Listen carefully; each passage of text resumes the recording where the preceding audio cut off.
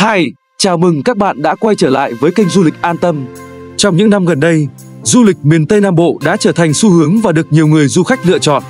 Nếu bạn đang lên kế hoạch khám phá vùng đất sông nước này mà chưa biết du lịch miền Tây nên đi đâu thì hãy tham khảo ngay vài điểm đến siêu cuốn trong video này nhé.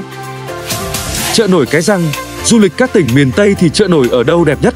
Câu trả lời chính là chợ nổi Cái Răng. Đây là nơi giao thương sầm uất, mang đậm nét văn hóa đặc trưng của miền Tây Nam Bộ. Tại đây, bạn có thể tham quan, mua sắm, thưởng thức những món ăn ngon và đặc biệt là ghi lại những bức hình check-in tuyệt đẹp. Nhà cổ Bình Thủy được xây dựng từ năm 1870. Nhà cổ Bình Thủy thuộc sở hữu của nhà họ Dương và đã từng xuất hiện trong nhiều bộ phim nổi tiếng. Đây là một trong số ít những căn nhà cổ có lối kiến trúc Đông Tây kết hợp.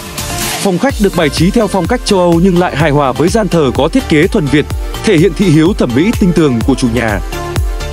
Rừng Tràm Trà Sư Rừng Tràm Trà Sư có diện tích khoảng 850 ha với hệ sinh thái phong phú, là biểu trưng cho vẻ đẹp mùa nước nổi An Giang. Trải nghiệm đi thuyền giữa thảm bèo xanh ngút ngàn, len lỏi trong các góc ngách của rừng tràm, nghe tiếng chim chóc đùa giỡn trên tán tràm sẽ rất khó quên. Làng nổi Tân Lập, đây là một địa chỉ còn rất mới trên bản đồ du lịch, nhưng lại khá lôi cuốn du khách bởi họ đến đây để tìm cảm giác thư thái, đắm mình giữa thiên nhiên rừng tràm xanh ngắt cũng như chút bỏ những gánh nặng của cuộc sống nơi thành thị xô bồ. Đến làng nổi Tân Lập, du khách sẽ được khám phá con đường mòn xuyên rừng tràm dài 5 km, ngắm nhìn vẻ đẹp của những dạng tràm xanh mát cao ngút trời. Du khách còn được ngồi thuyền du ngoạn thăm thú cảnh đẹp của vùng đầm lầy, lưu lại khoảnh khắc đẹp của những cánh đồng hoa sen, hoa súng đang mùa rực nở. Vườn quốc gia Tràm Chim trở thành khu bảo tồn từ năm 1994 với hơn 232 loài chim với nhiều loại quý hiếm như công đất, giang sen, điên điển, cò quắm, cò thìa, Đặc biệt là sếu đầu đỏ loài chim có trong danh sách đỏ thế giới về những loài có nguy cơ tuyệt chủng.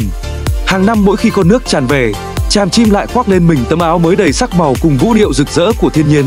Thay vì chọn lúc bình minh như đại đa số, bạn có thể bắt đầu hành trình khám phá vào lúc buổi chiều để tận hưởng những khung cảnh tuyệt diệu.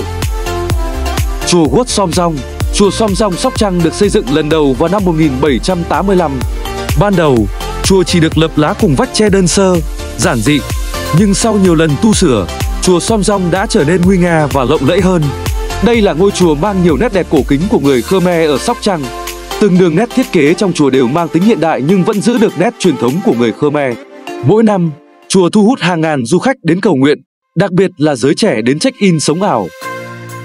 Miền Tây nơi nào cũng đẹp, nơi nào cũng thơ, dù mộc mạc, chân chất nhưng vẫn mang đậm bản sắc văn hóa sông nước.